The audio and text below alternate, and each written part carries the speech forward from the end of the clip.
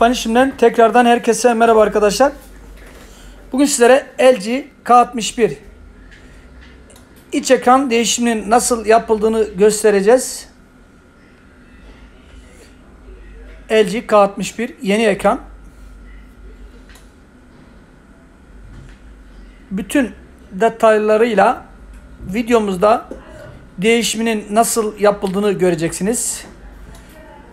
Bu arada ürünle ilgili soru ve önerileriniz varsa da bandımızda gördüğünüz gibi WhatsApp destek numaramız, iletişim numaramız ve web sitemiz var. Sürekli göreceksiniz ek videomuzda.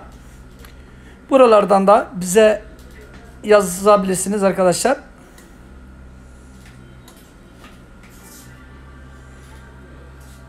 Öncelikle telefonumuzun arka kapağına 50-60 derece bir ısı uygulayarak arka kapağını sökeceğiz.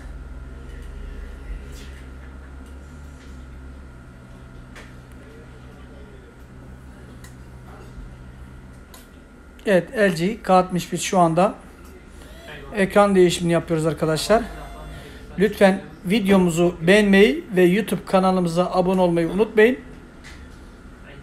LG K61 ile ilgili diğer yaptığımız işlemler kamera değişimi, arka kapak değişimi, üst cam değişimi, anakart donarımı ve benzeri bütün işlemleri sağlamaktayız. Sessiz bir şekilde videomuza devam edeceğiz. Tufan işim olarak sizlere iyi seyirler diliyoruz.